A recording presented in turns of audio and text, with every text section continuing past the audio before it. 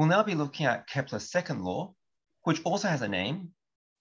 So after Kepler's first law, the law of ellipses, we now have the law of equal areas. And when you write out the law, it's a little bit of a mouthful. It says the line joining the planet to the sun sweeps out equal areas in equal intervals of time.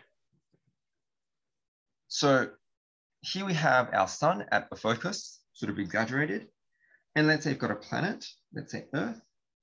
And let's say it's here at a particular instant in time. And it goes around the sun. And let's say that after some time,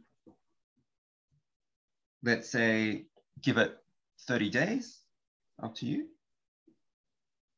Then after 30 days, it's gone here. So what we're really saying then is, okay, between this period and this period, the Earth moved from here to here. And that covers this area in between these two rays. So that is an area.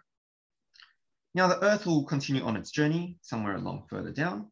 And let's just say, hypothetically, it's at some point in time here. So this time is, we don't know when this is, but let's call it July, for example. So July 1st. And that then means, okay, at 30 days after, it's July 31st. And so let's say it's here. So basically, the point is between these two times, there's 30 days as well. And between these two times, there's 30 days. So we could repeat the fact that we could draw a line between the Earth and the Sun. And then this sort of would have an area between them. And assuming that we did actual measurements and drew this perfectly, what Kepler's law is saying is that the shaded areas are equal.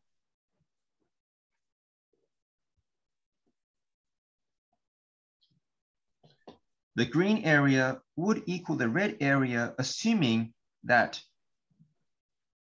basically the, dis the time interval between these two positions is equal to the time interval between these two positions.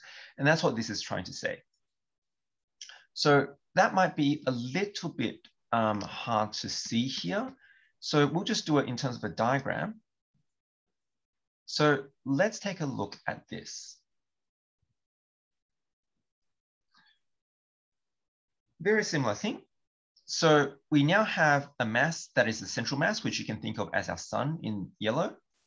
And you've got a smaller mass, which you can think of as Earth or any planet orbiting the sun. Remember, Kepler's laws applies to all orbits, even though he was studying the sun's uh, planets around the sun. And basically, let's play this and see what happens. So it's going around. And basically, at one second, it's going to draw a line and again. So at t equals three, there's a line, and four is going to come up now. And five. And then you can start to see six, seven, eight, nine, and then 10 will bring it back to where we are. And just like before, you can see this in motion this time, so maybe it's a little bit easier to understand. But we're basically saying you pick, in this case, any of these areas. So for example, this area, area one, will be the same as area two. Will it be the same as area three, for example? All of these areas are equal there is no difference in size. And that's because the difference between all of them was, in this example, t equals one.